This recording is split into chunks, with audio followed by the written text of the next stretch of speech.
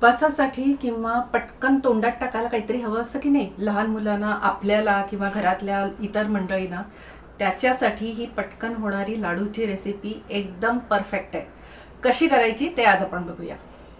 So शेंगदाण्याचा लाडू बनवणं ही process एकदम सोपी आहे. खूप सोपी आहे. आता इथे जे मी शेंगदाणे भाजून घेतलेले आहेत मी अर्धवट सालं काढली आहेत. सालं काढलीत तरी चालेल सालं नाही काढलीत तरीही चालेल. कम्प्लिटली डिपेंड्स ऑन यू तुम्हाला कसं पाहिजे तसं. सो इथे आता अर्धवट आहे. प्रमाण फक्त लक्षात घ्या की जेवढा तुम्ही शेंगदाणे घ्याल त्याच्या आसपास तुम्हाला गुळ घ्यायचं आहे म्हणजे एक वाटी शेंगदाणे असतील तर एक वाटी शक्यतो गुळ घ्या. पाऊण वाटी घेतला तरी चालेल. माझ्याकडे थोडंसं कमी गोड लागतं म्हणून मी थोडंसं कमी घेतलं आहे गुळ. पण अदरवाईज समप्रमाणात घेणं जास्त चांगलं. आता काही नाही आपल्याला हे दोन्ही मिक्सरच्या भांड्यात काढायचं आहे इथे माझ्याकडे गुळाची पावडरच आहे. त्यामुळे मी ती डायरेक्ट घालते. जर तुमच्याकडे गुळाचे खडे असतील तर शक्य असल्यास किसणीवर किसून घ्या म्हणजे बारीक होतील ते आणि मग मिक्सरमध्ये घाला. आणि हे आपल्याला सतत फिरवायचं नाही आहे पल्स मोडवर फिरवायचं आहे म्हणजे चालू बंद चालू बंद करत मिक्सर आपल्याला फिरवायचं आहे सो मी आता ते करून घेते. हे बघा आपलं छान झालेलं आहे.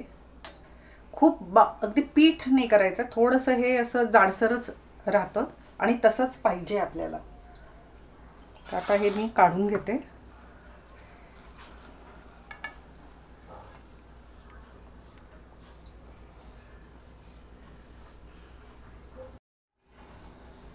हे आपलं तयार आहे गूळ आणि शेंगदाण्याचं मिश्रण.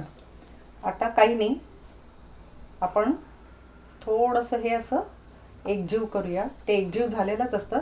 तुम्ही बघू शकता थोडं जरी हे केलं तरी त्याची मूठ वळली जाते. आता तुम्हाला किती लहान मोठ्या कशा आकारामध्ये तुम्हाला हा लाडू बनवायचा आहे त्याप्रमाणे तुम्ही बनवा. मला विचाराल तर खूप मोठाने किंवा खूप लहानने असे लाडू बनवा. पण माझ्याकडे स्वतःकडे छोट्या आकारातले लाडू आवडतात. म्हणजे असा उचलून अख्खाच्या अख्खा तोंडात टाकलेला सगळ्यांना आवडतो.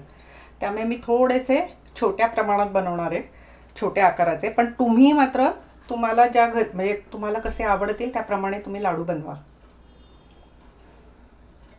अतिशय पौष्टिक असे हे लाडू असतात. हे बघा हे असे छान गोल करून घ्यायचं.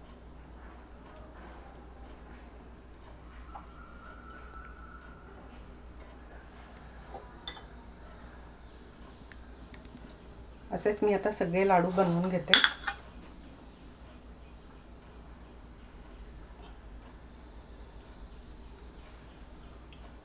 स्पेशली माझ्या मुलीला हे असे जरा लहान आकाराचे लाडू आवडतात. येता जाता असं पटकन तोंडात टाकायला तिला ते फार आवडतं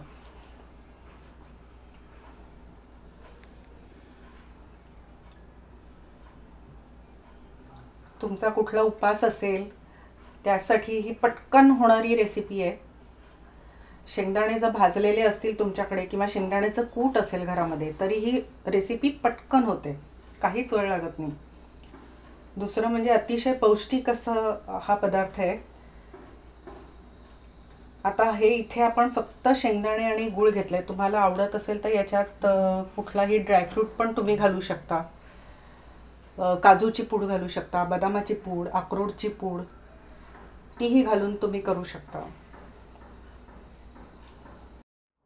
हे लाडू जर तुम्ही करून ठेवलेत तर साधारण एक दोन ते तीन महिने हे लाडू अगदी व्यवस्थित टिकतात. छान एअरटाईट डब्यात ठेवा. माझ्याकडे तर हे लाडू असेही टिकत नाहीत कारण येता जाता पटकन तोंडात घातले जातात. पण टिकण्याच्या दृष्टीने मात्र हे अतिशय टिकाऊ आहेत. दोन तीन महिने आरामात टिकतात. नक्की करा. आहे की नाही सोपी काही कष्ट नाही आहे तुमच्याकडे शेंगदाणे भाजलेले असतील शेंगदाण्याचं कूट असेल तर ही रेसिपी बनवायला तुम्हाला हार्डली एक पाच मिनटं पुरेशी आहेत. किंवा शेंगदाणे भाजायचे जरी असतील तरी प एक पाच सात मिनटं शेंगदाणे भाजायला. पुढच्या पाच मिनटामध्ये ही तुमची रेसिपी पूर्ण होते. तर ही नक्की करून बघा आणि मला नक्की सांगा तुम्हाला ही रेसिपी कशी वाटली ते. खरं तर ही आपली रेसिपी खूप पारंपरिक आहे ह्याच्यात नवीन असं काही नाही. पण जे नवशिके असतील किंवा ज्यांना माहिती नसेल शेंगदाण्याचा लाडू कसा करतात त्यांच्यासाठी आज लीना सुगरण कट्ट्यामध्ये मी दाखवलं शेंगदाण्याचे लाडू. तुम्हाला ही रेसिपी आवडली असेल तर लीना सुगरण कट्ट्याला लाईक शेअर आणि सबस्क्राईब नक्की करा. मला तुम्हाला एक सांगायचं आहे. तुम्ही सगळ्यांनी खूप भरभरून लीना सुगरण कट्ट्यावर प्रेम करताय तुम्ही प्रेम प्रेम आहे मला. पण जेव्हा मी ॲनालिटिक्स बघते त्यावेळेला असं लक्षात येतं की जवळपास ऐंशी टक्के लोक फक्त व्हिडिओ बघतात सबस्क्राईब करत नाहीत. तर माझी तुम्हाला हात जोडून विनंती आहे की आपलं हे चॅनल नक्की सबस्क्राईब करा. तुमचं प्रेम तुमचा आशीर्वाद असाच लीना सुगरण कट्ट्यावर कायम असू दे. परत उद्या नक्की भेटायला या अशाच एका छानशा रेसिपीला आणि मला भेटायला. तोपर्यंत बाय